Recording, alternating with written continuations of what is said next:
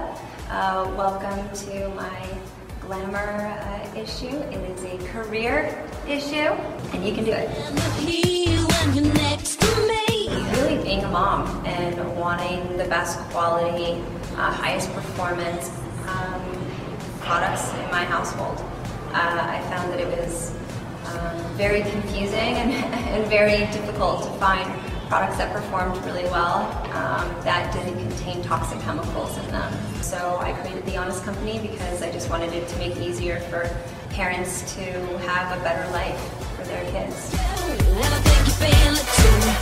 Understanding uh, the marketplace and whatever you want to get into, being very realistic about um, what what the business even has to offer in that marketplace uh, refining um, why your business or your idea is better, and um, surrounding yourself with experts.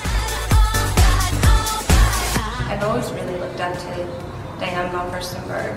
I think all of the advocacy work that she does for women in general um, is incredible, um, but also just um, being that example and being a very smart and savvy businesswoman and paving the way for, for me and for other women to have innovative ideas and to see them through. If it's too easy, you should be worried.